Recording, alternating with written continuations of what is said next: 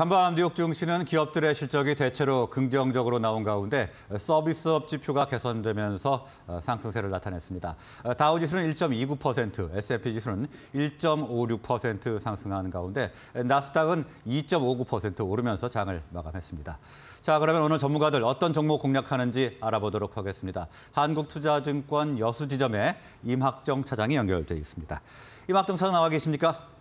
네, 안녕하십니까. 한국투자증권 여수지점 임학정 차장입니다. 예, 오늘 어떤 종목 관심 있게 보고 계신가요? 네, 오늘 관심 있게 보고 있는 종목은 네이버라는 종목입니다. 일단 네이버는 수익성 개선에 하반기 성장 동력이 상당히 큰 상황인데 일단 먼저 그 우려가 가장 컸던 commerce는 하반기 브랜드 store 거래액이 빠르게 증가하고 있고 merchant 솔루션 그리고 광고 등을 통한 수익화로 매출 기여도가 지속적으로 높아질 것으로 예상이 되고 있습니다.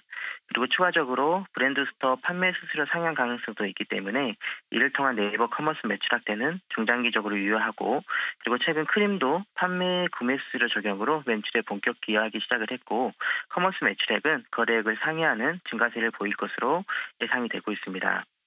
그리고 이제 추가적으로 네이버는 해외에서 웹툰 성장 그리고 중장기 수익성 개선을 기대를 하고 있는데 지금 지역별로 한국에서는 네이버 웹툰이 있지만 일본에서는 라인 망가 그리고 동남아는 라인 웹툰이 있습니다.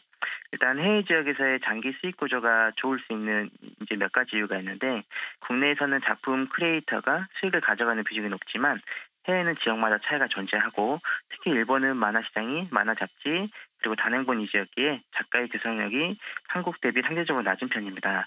따라서 지금 네이버 같은 경우는 국내뿐만 아니라 해외에서도 이제 성장성이 상당히 크기 때문에 일단 실질적으로 지금 최근에 이제 저점에서 거래량이 동반된 상승이 나오고 있습니다. 따라서 지금 목표가는 지금 31만 원 그리고 손절가는 25만 원 제시하도록 하겠습니다. 네, 국내 사업 다각화 효과가 나타나고 있는 네이버 관심주로 분석을 해봤고요. 목표가로 31만 원 제시를 해주셨습니다. 자, 그리고 오늘 새벽에 마감된 뉴욕 증시는 그래도 긍정적으로 나왔습니다. 오늘 우리 장 어떻게 준비를 하면 좋을까요? 네, 일단 뭐 연준 의원들의 매파적인 발언 등이 나오긴 했지만 하지만 과매도 이슈 그리고 경기 침체 우려 완화가 더 크게 작용하면서 증시가 미국 증시는 강하게 올랐고 일단 국내 증시도 한 0.7, 8% 내에 상승 출발할 것으로 예상이 되고 있습니다.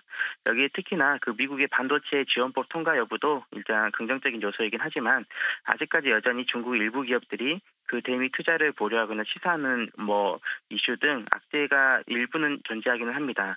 따라서 지금 현 시점에서는 뭐 시장 뭐 대형주도 중요하긴 하지만 그 실적 발표 시즌이기 때문에 그 실적 그 실적이 좋아지는 종목별로 해가지고 종목 장세로 시장을 대응하면 좋을 것 같습니다. 네, 일단 오늘은 미국 증시 영향을 조금 받아서 0.7에서 0.8% 상승 출발할 것으로 예상을 하시면서 실적 시즌이기 때문에 실적이 좋아지는 기업들을 위주로 개별 종목 위주의 전략을 짜면 좋을 것 같다. 이렇게 정리를 해보도록 하겠습니다. 오늘 말씀 고맙습니다. 네, 감사합니다.